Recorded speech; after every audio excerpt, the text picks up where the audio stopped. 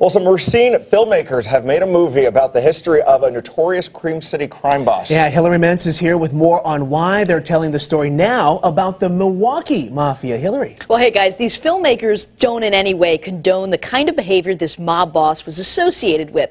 They also don't want this part of Milwaukee's history to be forgotten.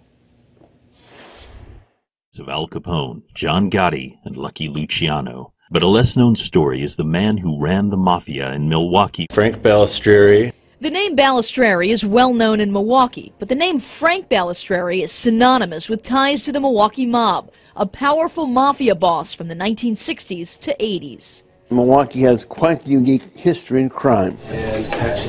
Now Racine County filmmakers Jason Love and Wayne Klingman are reviving part of the Brew City's dark history in their new documentary called Milwaukee Mafia. They spent nearly a year researching and making the movie about the guy nicknamed the Mad Bomber. It is alleged that he had people blown up. Okay. In their cars. In their cars, yes. They also highlight Balistrieri's connections to mobs in Chicago, Las Vegas, and New York. Here in Milwaukee's Third Ward is where the filmmakers say Balistrieri is reportedly connected to several suspicious incidents. That Frank and his guys did, again, horrific things. That they're not necessarily nice people but it's still part of our history. These two say they had no fear making this film because all of their information is public record. They just put it all together. It's been forgotten in a lot of ways. There is people who remember, but like my generation, most of us have no no clue that this existed. A made man whose infamous stories continue to live on.